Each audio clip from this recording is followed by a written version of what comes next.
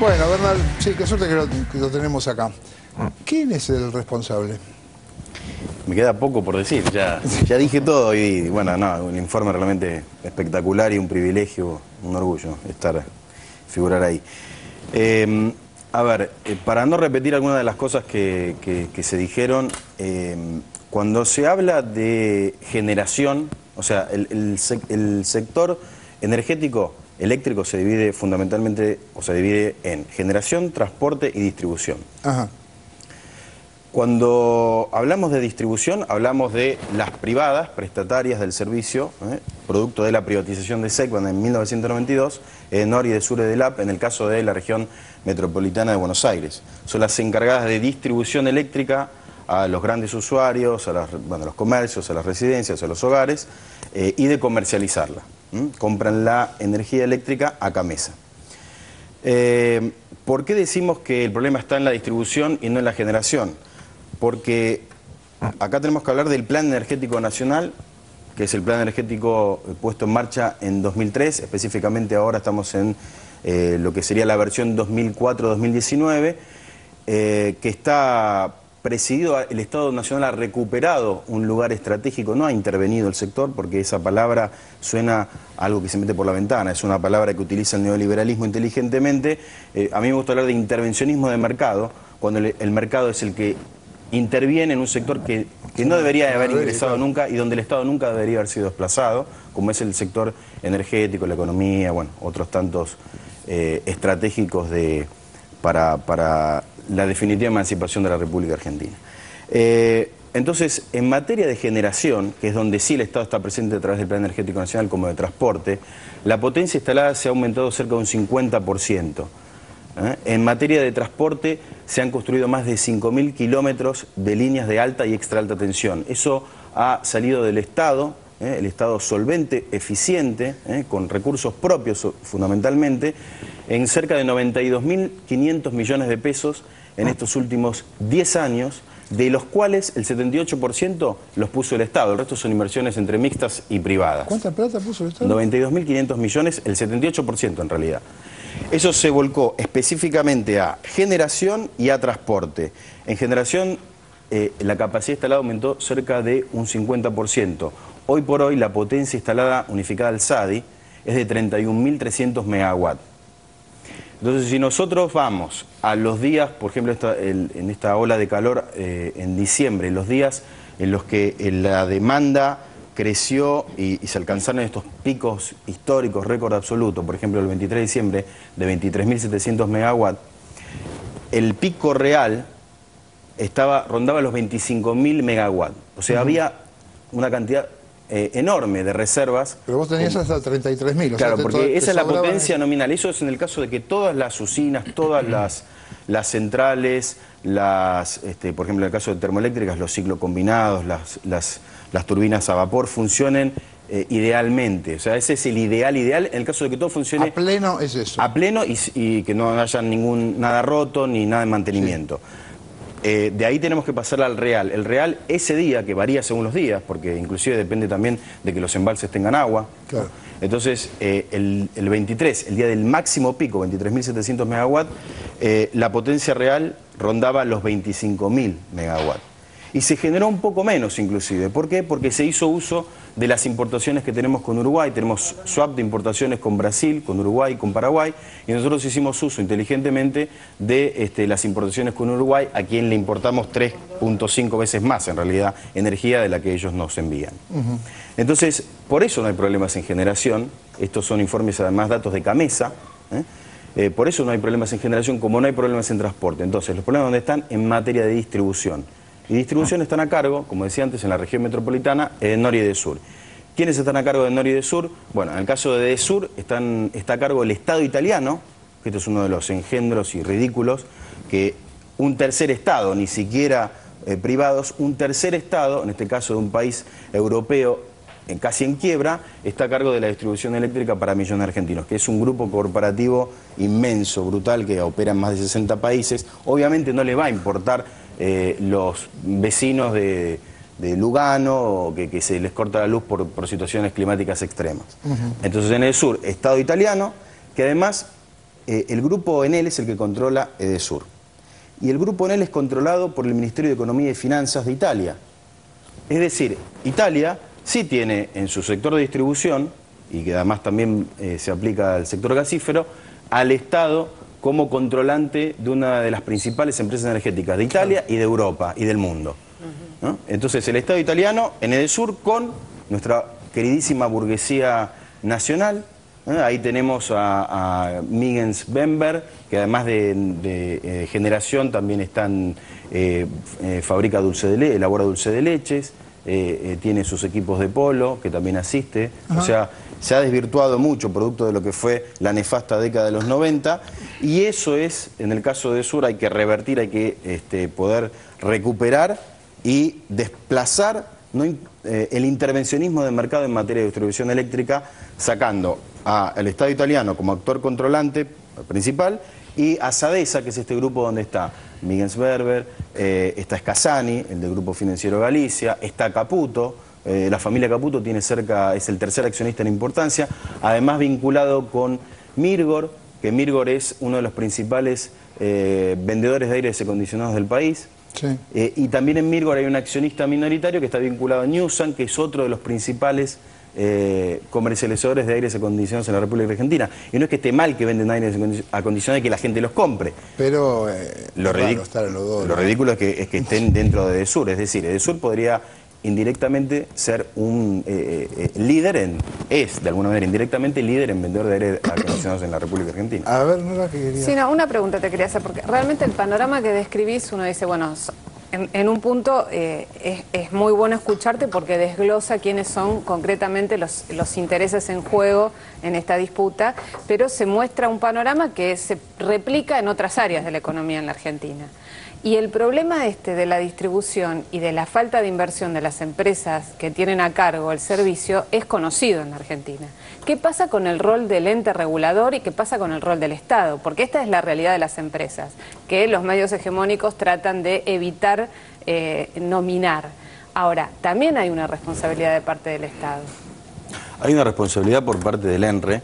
A ver, eh, el ENRE tiene actividad regulatoria puede además este, emitir sanciones, multas, de hecho entre 2007 por ejemplo y 2011 cerca de 4.000 este, sanciones, eh, algunas terminaron en, multas, eh, ha emitido el ENRE.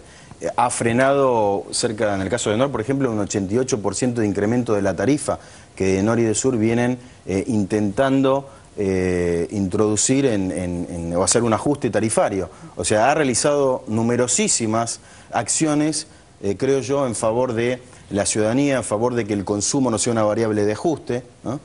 Eh, ahora, evidentemente no alcanza, y creo que ese es el debate de fondo y el debate que hay que darse. Pero lo que, perdón, lo que te preguntaba Nora, que creo que es una pregunta casi universal, me pareció que tiene la lógica que uno espera, eh, plantea la duda si el receptor, la sociedad, no está pensando que el Estado es impotente frente a esas potencias. Y la pregunta es, ¿por qué es impotente? Bueno, a ver, primero nos estamos rigiendo, si bien modificado bastante, nos estamos rigiendo por el marco regulatorio eléctrico de 1992. Y es imposible, y esto es algo que, se está haciendo en otros grandes eh, resortes de, la vida de la República Argentina, eh, es imposible, a ver, ya bastante con que tenemos dos modelos políticos conviviendo y, enfrentándose desde 1810 esta parte, pero como nunca, sobre todo desde el conflicto por la 125.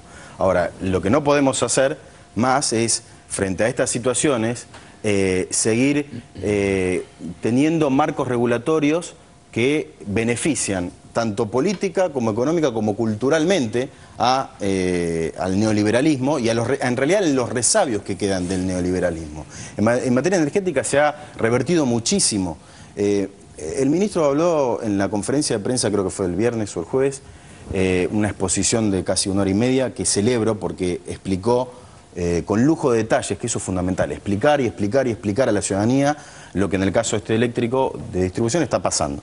Y él habló de alguna palabra que es fundamental, habló de el Estado va a capitalizar se refería a los noventa y pico de estos dos miles de millones de pesos, va a capitalizar esa inversión. ¿Qué quiere decir con esto? Que no podemos darnos el lujo, encima de que se invierte, se invierte millonadas en, transformar el sector energético que venía estancado por los famosos ex secretarios de energía desde el 80 y el 90, no podemos que por los cablecitos finales eh, eh, la ciudadanía padezca y esté eh, protestando y, no tenga luz.